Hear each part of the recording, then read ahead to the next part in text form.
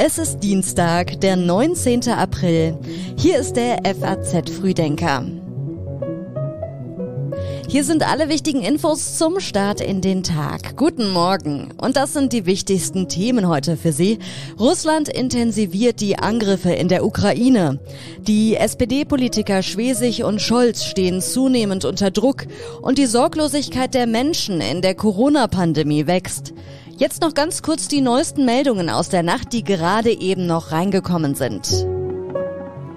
Jan Masalek soll von Russland ausgeliefert werden. Seit Jahren weltweit gesucht, lebt der ehemalige Wirecard-Vorstand offenbar in Moskau. Münchner Staatsanwälte bemühen sich jetzt um eine Auslieferung. Israel fliegt Luftangriffe im Gazastreifen. Nach Zusammenstößen auf dem Jerusalemer Tempelberg und Raketenbeschuss aus dem Gazastreifen droht erneut eine Gewaltspirale in Gang zu geraten. Und Amerikas Maskenpflicht in öffentlichen Verkehrsmitteln ist gekippt. Eine Richterin in Florida erklärte die Anordnung für ungültig. Es ist ein Rücksetzer für Präsident Joe Biden und seine Gesundheitsbehörde. Heute hat Redakteur Sebastian Reuter den Newsletter für den FAZ Frühdenker geschrieben. Mein Name ist Theresa Salentin. Schön, dass Sie heute mit dabei sind. Wir schauen zuerst auf die Entwicklungen in der Ukraine, denn es gibt eine neue Phase der russischen Offensive. Unter schweren Kämpfen haben russische Truppen gestern die Kleinstadt Kremina eingenommen. Die neue Phase gilt nach Angaben von Beratern des ukrainischen Präsidenten Zelensky vor allem für den bisher nicht besetzten westlichen Teil des Gebiets Luhansk. Weiter nördlich wurde die Millionenstadt Kharkiv intensiv beschossen. Präsident Zelensky sagte in einer Videoansprache, Zitat, dies ist nichts anderes als vorsätzlicher Terror. Es werde jetzt dringend davon abgeraten, auf eigene Faust die Flucht zu versuchen. In der von Russen weiträumig belagerten Hafenstadt Mariupol leisten ukrainische Einheiten offenbar immer noch Widerstand. Die letzten ukrainischen Einheiten sollen sich in einem Stahlwerk verschanzt haben, zusammen mit etwa 1000 Zivilisten. Von den Vereinten Nationen heißt es, etwa fünf Millionen Menschen haben die Ukraine bisher verlassen, mehrere Millionen sind im Land selbst auf der Flucht. Lemberg, die größte Stadt der Westukraine, wurde gestern erstmals seit Tagen wieder von Raketen getroffen. Den Behörden zufolge kamen dabei sieben Menschen ums Leben. Vitali Klitschko, der Bürgermeister von Kiew, sieht in dem Krieg mittlerweile auch eine atomare Bedrohung durch Russland. In einem Interview sagte er, chemische Waffen oder Atomwaffen, wir rechnen mit allem, alles ist möglich. Der Druck auf Ministerpräsidentin Manuela Schwesig wegen ihres Einsatzes für die russisch-deutsche Gaspipeline Nord Stream 2 wächst. Von Bundeskanzler Olaf Scholz wird jetzt eine klare Position verlangt, wie er die Ukraine unterstützen will. In den vergangenen Tagen sind Dokumente bekannt geworden, die den Eindruck einer Nähe zwischen der Landesregierung in Mecklenburg-Vorpommern und der Nord Stream 2 AG in den vergangenen Jahren erwecken. Es gibt beispielsweise auch eine lange Auflistung von Treffen zwischen Vertretern von Nord Stream 2 und der Landesregierung. Schwesig soll sich mehrmals mit Matthias Warnig getroffen haben, dem Geschäftsführer der Nord Stream 2 AG. Warnig hat einst bei der Stasi gearbeitet und gilt als Vertrauter des russischen Präsidenten Wladimir Putin. Jetzt haben führende Grünen-Politiker gegenüber der FAZ deutliche Kritik an Schwesig geäußert. Der Grünen-Vorsitzende Omid Nuripur sagte beispielsweise, die Verwebung zwischen der Schweriner Landesregierung und dem russischen Staatskonzern Gazprom waren stets verheerend und müssten endlich aufgearbeitet werden.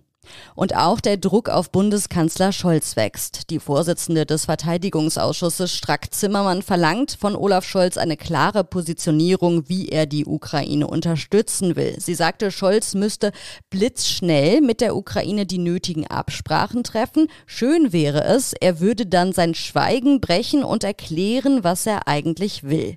Der Grünen-Vorsitzende Omid Nuripur hat den Bundeskanzler noch vor wenigen Tagen im Interview verteidigt. Auch Olaf Scholz weiß, wie groß die Herausforderung für uns alle ist und ist äh, als Chef dieser Regierung selbstverständlich auch die erste Instanz, wenn es darum geht, dass wir zusammenstehen, um der russischen Aggression zu begegnen und den Menschen in der Ukraine bei ihrem Kampf, den sie für uns alle und für unsere Demokratie auch derzeit leider durchführen müssen, auch beizustehen. Wie geht es weiter in der Corona-Pandemie? Deutschland schenkt dem Coronavirus immer weniger Beachtung. Gesundheitsminister Karl Lauterbach warnt aber für den Herbst vor trügerischer Sicherheit. Es ist natürlich möglich, dass es im Herbst keine große Welle gibt. Das ist möglich, aber es ist einfach sehr unwahrscheinlich. Ich kenne eigentlich keine größere Studie und auch keinen also bekannteren Wissenschaftler, mit dem ich im Kontakt bin, der davon ausgeht, dass wir im Herbst nicht eine erneute Welle bekommen. Durch die Osterfeiertage und die damit verbundenen geringen Test- und Meldeaktivitäten sind die Infektionszahlen zuletzt stark gesunken. Für den Herbst stellt Lauterbach aber schon die Rückkehr der Maskenpflicht in Innenräumen in Aussicht. Mit Impfstoffbestellungen im großen Stil will er außerdem drohende weitere Corona-Wellen bekämpfen. Lauterbach warnte außerdem für das Ende des Sommers vor einer möglichen hoch ansteckenden Omikron-Variante, die Zitat, so tödlich wie Delta ist, das wäre eine absolute Killer-Variante, sagte er. Für diese Äußerung erntete der Gesundheitsminister Kritik. Ein anderer Virologe sagte, der Begriff Killer-Variante sei unwissenschaftlich und führe zu nichts als Verunsicherung. Auch einige Politiker kritisierten Lauterbach dafür. Die untere Mittelschicht wird abgehängt. Die Gehälter von Führungskräften sind zuletzt deutlich stärker gestiegen als der Durchschnittsverdienst. Das zeigt eine neue KfW-Analyse, die der FAZ vorliegt. Betrachten wir mal die Lohnzuwächse im vergangenen Jahrzehnt, dann schneiden die Arbeitnehmer am schlechtesten ab, die sich nach Qualifikation und Lohnhöhe im unteren Mittelfeld bewegen. Sie arbeiten zwar oberhalb des Mindestlohns, zeigt die Analyse, allerdings arbeiten sie noch nicht in Bereichen, in denen eine notwendige fachliche Spezialisierung und die damit verbundene Knappheit von Arbeitskräften automatisch als Lohntreiber zusammenwirken. Es gibt einen Vergleich, der die Beschäftigten in fünf Leistungsgruppen einteilt und die Entwicklungen der Bruttoverdienste zeigt. Und dieser Vergleich macht deutlich, in der obersten Leistungsgruppe, also der Führungskräfte und Spezialisten, gab es im vergangenen Jahrzehnt einen Lohnanstieg um 26,9 Prozent. Im Durchschnitt aller Beschäftigten waren es 23,4 und in der untersten Gruppe, also der der ungelernten Hilfskräfte, 18,4 Prozent. Die Autoren der Studie werten die Ergebnisse als Bestätigung dafür, dass eine gute Bildungs- und Qualifizierungspolitik der wichtigste Hebel sei, um Fachkräftemangel zu lindern und Einkommen zu erhöhen. Wie profitieren eigentlich die Länder vom Immobilienboom? Je nach Bundesland müssen Immobilienkäufer zwischen 3,5 und 6,5 Prozent des Kaufpreises an den Fiskus überweisen. Bei einem Haus im Wert von 500.000 Euro sind das bis zu 32.500 Euro. Für die Bundesländer ist die Grunderwerbsteuer eine ziemlich attraktive Einnahmequelle. Durch die Steuer nehmen die Bundesländer jedes Jahr Milliarden ein und eine Umfrage der FAZ zeigt, dass diese Einnahmen, also aus der Grunderwerbssteuer, seit dem Jahr 2016 um fast die Hälfte gestiegen sind. Spitzenreiter ist übrigens Nordrhein-Westfalen, danach Bayern und Baden-Württemberg. In einigen Bundesländern gibt es Ideen, wie beispielsweise junge Familien beim Kauf eines Eigenheims entlastet werden könnten. Konkrete Pläne gibt es aber noch nicht. Und jetzt gibt es noch einige Online-Tipps aus unserer Redaktion für Sie.